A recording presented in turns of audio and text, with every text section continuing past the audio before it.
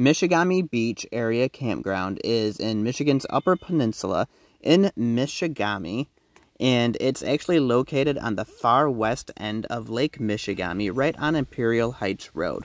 If you're driving through Michigamme and you're going around the lake, you can't miss it because there's not that many roads to choose from, and you drive right past this campground. It's right across the road from the boat launch. This is a very small campground managed by the township. There's actually only four campsites here, and each one of the sites does have a nice little fire ring and a picnic table with it. And each one is plenty big enough for pop-up campers or small trailers or a couple tents. I'm going to walk through here and we'll take a look at the camping area. The sites are not incredibly level all the way through, however each site does have enough space to put a tent on a level pad. There is a small path that leads down to the river. It's the Spurr River. It comes out of Lake Michigamme on the far west end. You don't really have access to do anything right here from your campsite in the river, though. It's very marshy and weedy and hard to get through there. But you can see the picnic tables are actually pretty nice. They're not just your rotten wood picnic tables that you would expect.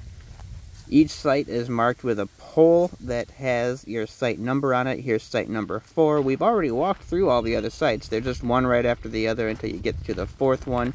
You have a billboard that has no information on it at all. And then you have the porta potty that's here instead of your typical outhouse that you would find in a state forest campground. And we're walking across the road here. Across the road I, at first, I thought these were public showers, and I'm like, holy cow, there's public showers? How weird is that?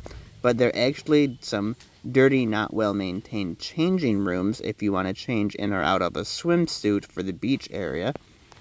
After we leave the changing rooms, we're going to take a look here at the rest of this little recreation area that's across the road from the campground. You have some playthings for the kids to play on, some old painted tires that are always neat to play in, except they draw a ton of spiders and then a really nostalgic feeling swing set and merry-go-round. You have a fire pit and an old charcoal grill, some picnic tables here. That garbage can that is not bear-proof makes me think there's probably not bear.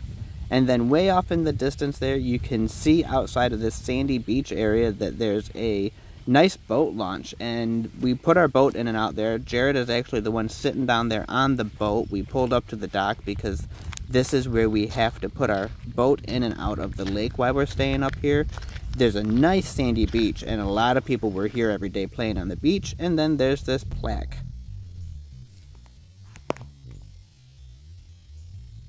Did I mention that I think this campground is actually free to the public to stay at?